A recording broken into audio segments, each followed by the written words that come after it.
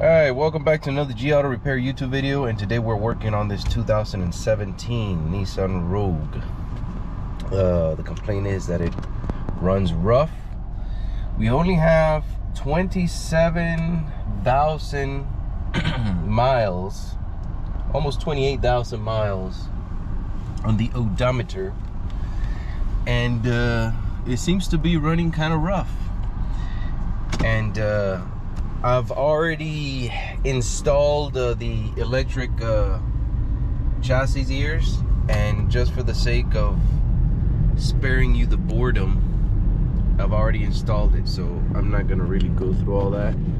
I've got other videos on that topic both in English and Spanish if you're interested. Feel free to check out the channel and check those out. But anyways um, this one is a little tricky to uh, to detect using the conventional method of just jacking up the front of the car letting the tire spin seeing because this has got, got a bunch of you know anti-collision uh, systems and sensors and whatnots. So I couldn't get it up to speed to, to to do the noise. And it's not super bad but it's enough to where at higher speeds you can you can hear it and you can feel it like a, a, a rumbling vibration of sorts um, so I decided to bring out the big guns this time and uh, bring you guys along for the ride to see how how this works. So um, I'm gonna go ahead. I already got the uh, chassis ears uh, on, and I got four of them installed. I got number one here in the front driver, number two in the front passenger, three rear driver, and four uh, rear passenger. So right now I can already feel and, and hear a little bit of the noise. If I were to swerve a little bit like this, it can actually get worse. So I know I'm having an issue on the front passenger side. We're just gonna use this to confirm our suspicions. so as soon as I uh, get up to speed, I'll go ahead and begin the test. Okay, okay so, so, we, are, are, moving, moving now. now. then we get up to speed about 50, 60, and uh, then we're gonna go ahead and go through these numbers here. So right now we're set at number one. As you can see, there's not really much action going on here in the uh, in the bar here. We're gonna go over to number two, and you can immediately see that there is uh, there is some action going on there. So number two is going to be the front driver side, uh, correction, drive, front passenger side wheel bearing. So we're having wheel bearing issues. Now we're gonna go to number three, which is uh, rear driver. And there we can see we got some action going on there as well. Now we're gonna go over a little curve here. Let's go back to number two which is the front passenger side.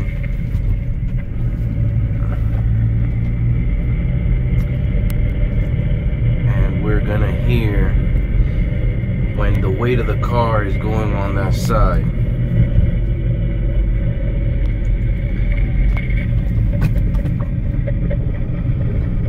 Hear like a little knocking there so that's common with wheel bearings. When you when you sway from side to side, it may get worse or better, depending on where the weight of the car is being distributed to. So every time I turn left, all the weight of the car is going to the right. So it's applying all the pressure to that wheel bearing and hence the the increase in noise. So we're gonna go back to number three. We haven't gotten to four yet. Let me get in here to get a little bit of speed. Okay. We're gonna go to four. There we can see it's pretty pretty quiet. Right there, I can feel the rumbling.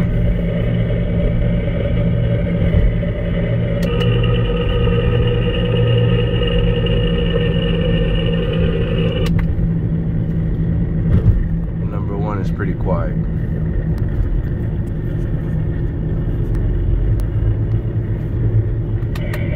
I got two again.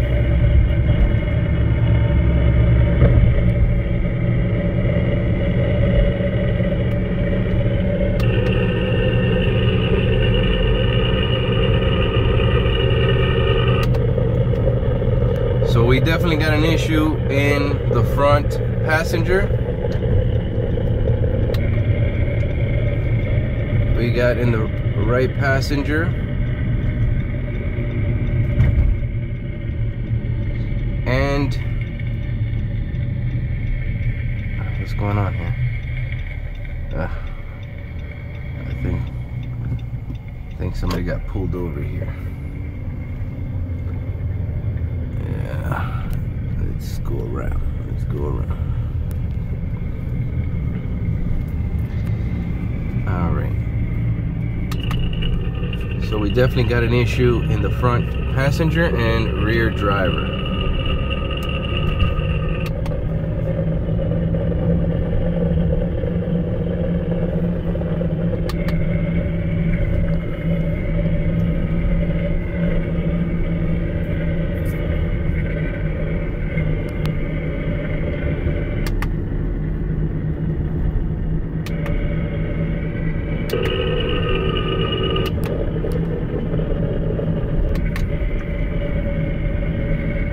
Actually, it's quieted down some. I think maybe the the clamp got loose.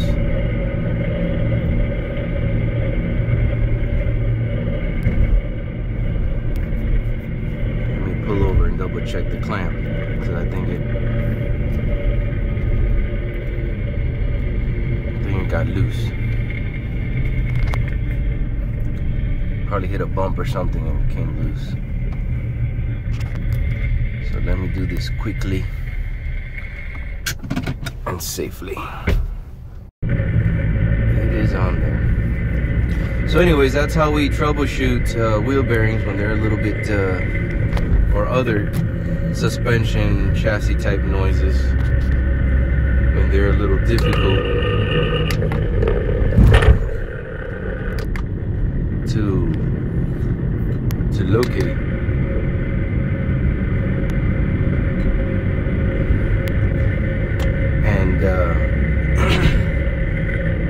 Have to use a little bit of assistance with these types of tools to to get to the bottom of it. So, anyways, this is not going to be a the actual repair. is just a, a, demonstration of the tool, how to use it, and uh, how it helps us to determine certain type noises at times. So I hope you enjoyed the video please like and subscribe and we will catch you on the next one ciao all right guys so you didn't really think that i'll leave you hanging out hanging without uh, doing a before and after right? Well we're gonna go ahead and uh, turn the, our our receiver on. And uh, take a listen here. So apparently there's a little bit of a difference between these transmitters and their their their their what you call it their settings or something um, because some sensors sound a little louder than others or, or transmit more have more sensitivity than others so here we have number one I did swap out the position of number one with two um, to test that theory out because two which is in the front passenger side it tends to transmit a little bit more now. So I don't know what the heck is up with that. That must be a tool issue, the transmitters or something. I'm not 100% sure, but the car is fixed. That's number three there. Number four. Now all that all that really loud screeching noise you're hearing is the brakes. I did put new brake pads in the back, so they're burnishing. So they, they sound a little rougher than before when braking. And that's gonna be obvious because for example, I'm gonna brake right now. See, that's the pad. So that that's we're gonna ignore that. That's the pad. That right there, pad noise. We're gonna ignore that. So let's go ahead and try to get a little bit more velocity.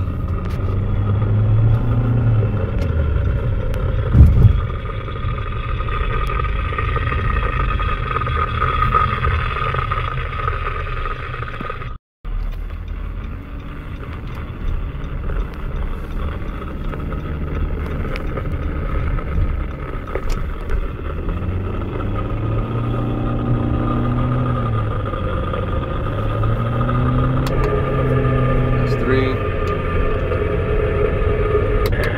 See, some of them sound louder than others for some reason. Uh, that sounds like it's cutting in and out. I think I'm having some transmitter issues. But it's definitely when I sway the car, I don't I don't hear that noise anymore. So the vehicle is fixed for sure. I can totally tell the difference. Um, it may be difficult for you guys to appreciate it on the on the uh, chassis ear here because there there appears to be some kind of difference between the uh, the different transmitters and their sensitivity or something. I really don't know how to explain that because I didn't make the tool, so I don't know. But I can tell you by feel and by test driving, problem has been fixed.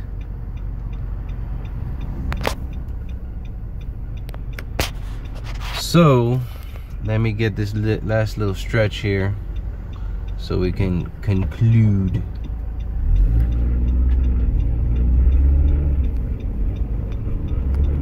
So we can conclude our repair here. So again, this is one. Two seems to be cutting in and out now. Yeah, I'm definitely having some transmitter issues. three. It sounds rough, but that's a new bearing, so I know that's fixed. That's the brakes.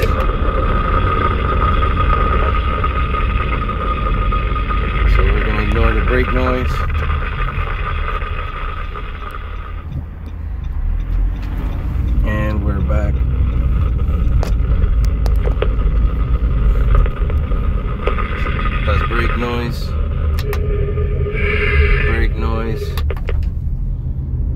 2, which is now on the front passenger side.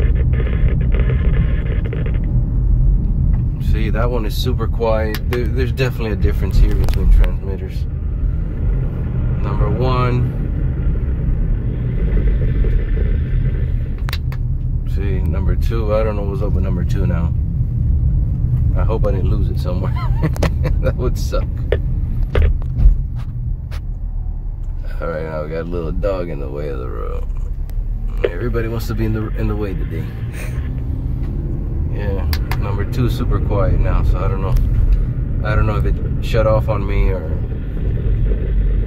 I know I didn't lose it because it's securely strapped to the frame, but maybe the uh, the clip became undone or something. Number one, front passenger. Three seems very sensitive now. It is probably picking up a little bit of uh, noise from the drum and the um, the drum and the parking brake. And also every time I brake obviously you're gonna hear that screeching noise so that's to be expected. Um, anyways I'm gonna go ahead and conclude this video. Um, that's how we use these tools and when they work right anyways they can be very useful to finding those difficult to find noises. And um, I hope you guys enjoyed this uh, video. Please like and subscribe and we will catch you on the next video. Ciao